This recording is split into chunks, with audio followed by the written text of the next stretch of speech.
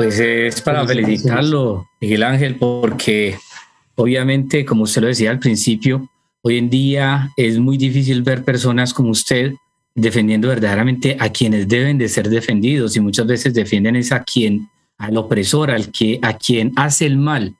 Y pues eh, lo felicito por tan maravillosa profesión y por lo que está haciendo. Yo creo que todos los que están viendo esa entrevista se enorgullecen de una persona como usted, como colombiano, de estar representando al derecho real como debe ser y, y de la manera precisa. Eh, yo quería hacerle una pregunta saliendo un poco ya del caso de Merlano. Eh, en su entrevista con María Jimena Duzán, usted dijo, salí decepcionado sobre su proceso con el pacto histórico. Eh, sí, cuéntenos cómo sigue el apoyo al pacto histórico. sé cómo, cómo, cómo la ve ahí, cómo está. pues independientemente de, de los traumas que pueden haber ocurrido en ese proceso personal de ingresar a la política, creo que en realidad mi verdadero escenario es la justicia, Fabián, fundamentalmente, más allá que cualquier otra aspiración electoral. Ese evento pues no fue tan afortunado. Eh, fui invitado a encabezar una lista a la Cámara, eh, donde finalmente pues tuvieron en consideración otros, otros nombres y otros protagonismos, eh, pero sigo convencido, Fabián, Ricardo, Isabel, que el pacto histórico y Gustavo Petro son la mejor alternativa para el desarrollo y para el destino del país, porque no hay otro grupo que incluya dentro de sus estructuras esa comunión de líderes de la defensa del medio ambiente, de la defensa de población vulnerable, de líderes sociales, y que si bien es cierto, toda construcción política es imperfecta y habrá desacuerdos sobre algunos nombres, es el mejor o la mejor opción desde el punto de vista de la representación. Y soy hoy el primer defensor del modelo del pacto histórico y de la campaña presidencial del señor Gustavo Petro. Dentro del mismo orden de ideas, no sé si Marisabel me lo permite, eh, este, aquí nosotros tenemos, digámoslo así, como colombianos, muchas dudas con respecto al Poder Judicial. ¿Qué se puede hacer? ¿Habría que hacer una reforma a la justicia de todas maneras?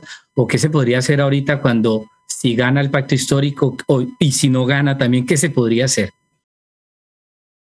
Mire, yo no creo tanto, porque además casi todos los presidentes que llegan al poder acuden a los criterios de reformas.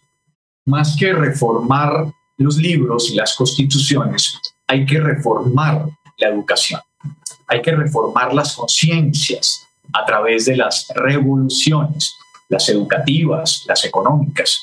Entonces, yo lo que creo es que la fortaleza del sistema judicial depende de las personas que la integren. Debemos nombrar ciudadanos y ciudadanas honorables en el ejercicio de la justicia y estoy seguro que a partir de ahí se desplegará una suerte de beneficios en el tema de justicia. Porque podemos tener una constitución perfecta, Fabián. Entre otras, la constitución colombiana pone, como todas, como todas las constituciones, la dignidad humana como esencia en la construcción democrática. Pero ninguna la cumple. Como les decía, el mercado hoy está por encima de la dignidad humana. Entonces, es simplemente construir y cumplir y ejecutar lo que ya tenemos en el papel, pero se hace con los mejores y las mejores personas en el país. No importa a qué partido pertenezcan. El ministro de Educación debe ser el hombre mejor formado o la mujer mejor formada del sistema educativo, que lo conozca desde adentro. La justicia debe estar comandada por hombres y mujeres dignos representantes de un sistema judicial ético, estructurado, riguroso. Esa es la única forma de cambiar los modelos estructurales.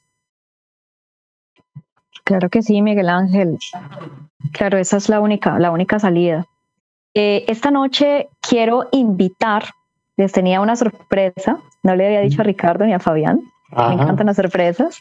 Tenemos eh, eh, una invitada muy especial, una colega que, que, que, trabaja muy fuerte también aquí en Suiza por los derechos humanos, por, por, por la expresión, por lo que pasa en Colombia y defender un poco eso, eso que no se dice, ¿no?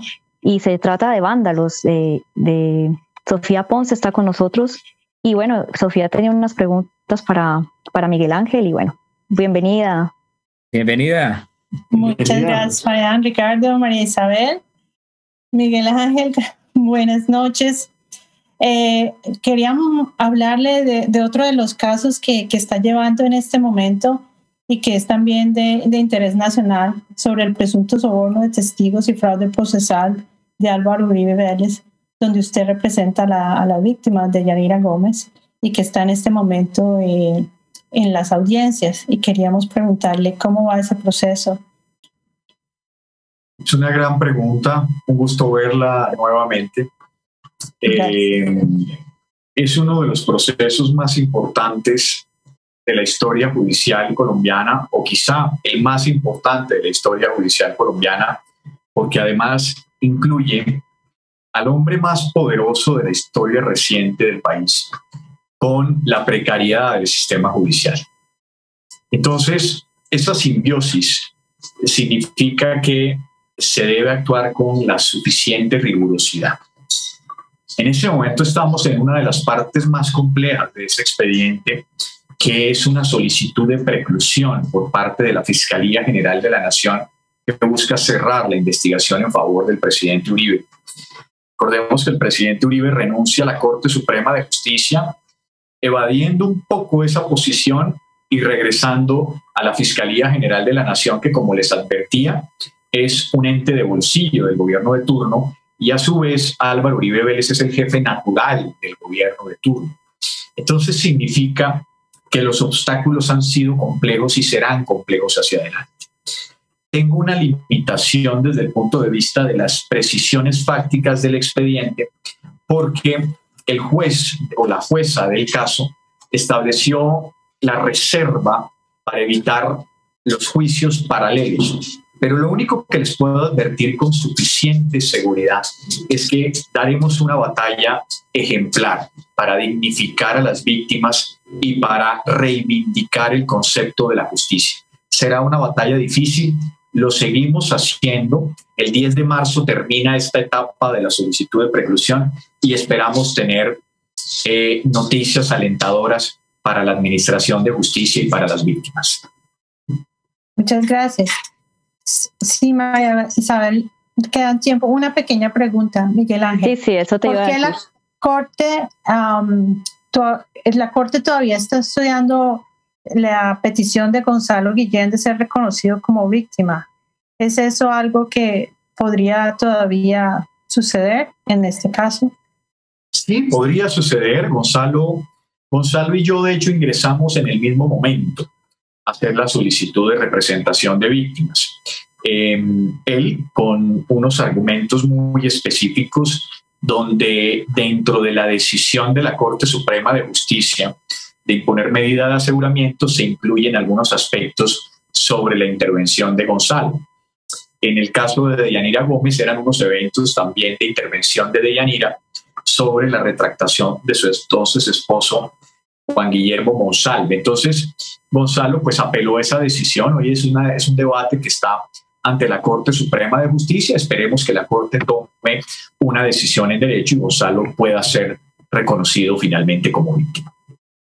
¿Puedo hacer una pregunta de ese nivel? Me muy, muy rápida. Claro, claro, nos quedan, nos quedan tres minutos, cinco minuticos. En caso, en caso de que se pierda, eh, que, que, que Uribe gane, se puede considerar que se agotaron todos los recursos jurídicos a nivel nacional y puede haber apelación ante la Corte Interamericana de Derechos Humanos? ¿O cuál sería una etapa ulterior? Sí, aquí ese debate interno todavía, todavía será largo, Ricardo, en la eventualidad de que salga cualquier decisión en favor o en contra, serán apeladas. Esa segunda instancia tomará una decisión sobre la cual también serán susceptibles acciones constitucionales, lo que significa que será tarde o temprano la Corte Suprema de Justicia, su sala penal, la que termine cerrando el capítulo a nivel interno. Si todo eso no es suficiente después de ese largo periplo, pues entonces habrá que acudir a las instancias internacionales. Mientras tanto, hoy, Ricardo, a pesar de todo lo que he podido advertir en esta intervención, confío en la justicia. Más allá de la justicia colombiana, confío en la justicia como concepto metafísico, como criterio estructural de que las investigaciones sean rigurosas y se, y se hagan como deben hacerse para la salud democrática.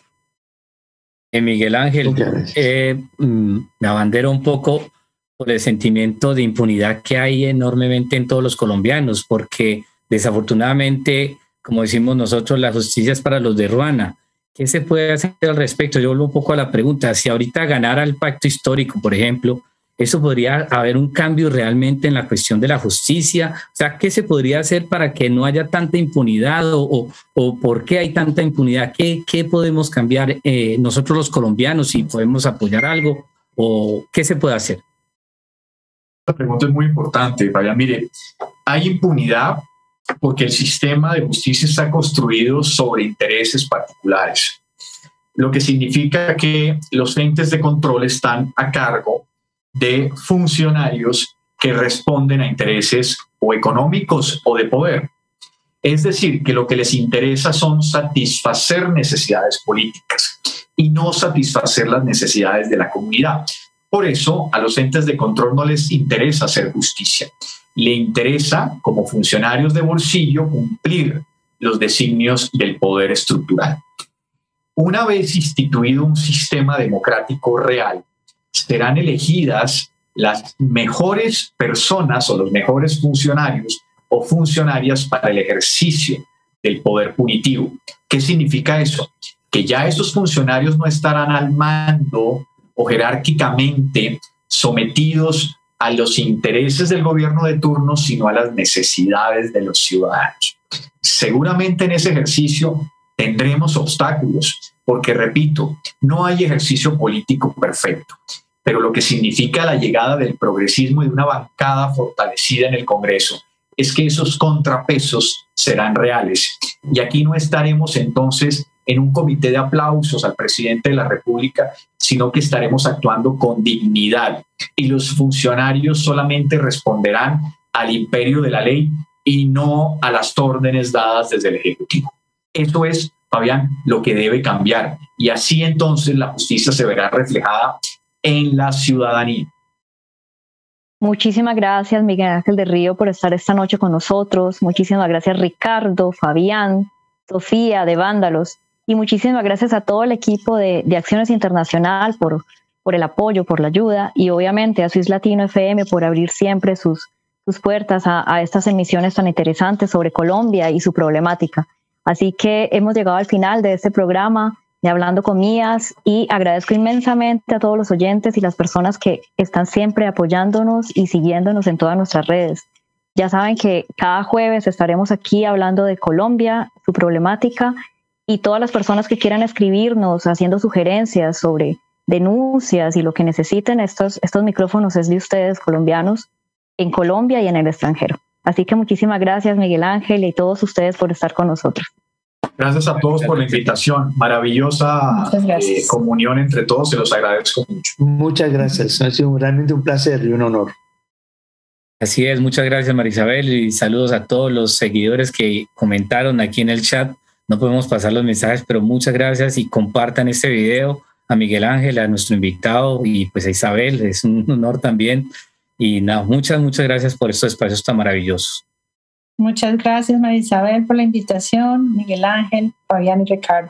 Muchas gracias. muchas gracias. Gracias a ustedes. Gracias a todos. Gracias a todos.